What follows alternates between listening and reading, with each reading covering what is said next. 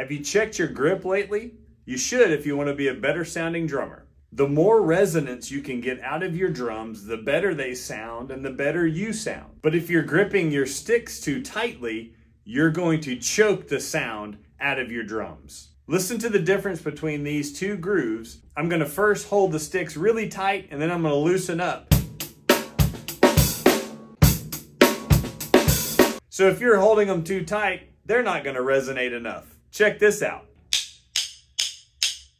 Listen to this difference. Yes.